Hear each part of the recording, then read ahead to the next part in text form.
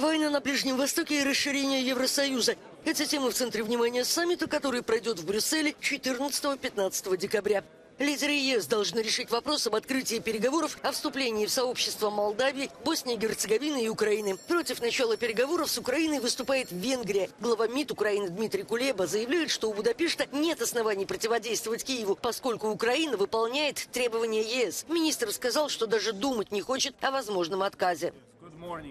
I cannot imagine, I don't even want to talk about the devastating consequences that uh, uh, will occur shall the Council fail to make, to make this decision. Not only with regard to Ukraine, but in a broader sense on the issue of, of enlargement uh, as a whole.